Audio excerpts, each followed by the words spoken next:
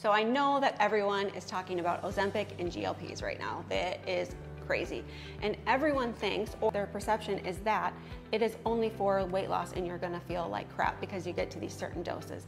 But have you ever heard of microdosing? So something that we offer at our clinic is microdosing with the GLP ones. And it is so helpful and almost game changing, I feel like, because it somewhat changes your mind awareness around different things. So it helps with metabolic health, it can help with cholesterol, it can help with your insulin resistant, it can help with so many different things. And I think that, so what I actually just had somebody that I put on it yesterday, and we had a conversation, and I gave them 30 days of journal prompts. Um, of really what I want for this for you is to be aware of what you're putting in your body and aware of how you feel. So these micro doses are so helpful because they actually help you feel better. They kind of take your whole body's, the metabolic health and say, this is what it is now because our bodies don't make GLP-1s. It's actually something they're supposed to, but we just have less of them in our guts.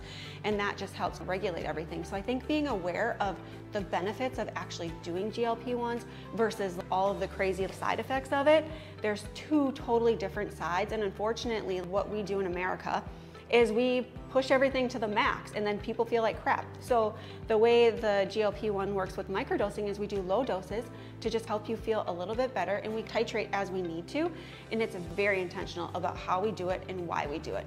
So if it's something that you're interested in, you're welcome to come and check us out. Good?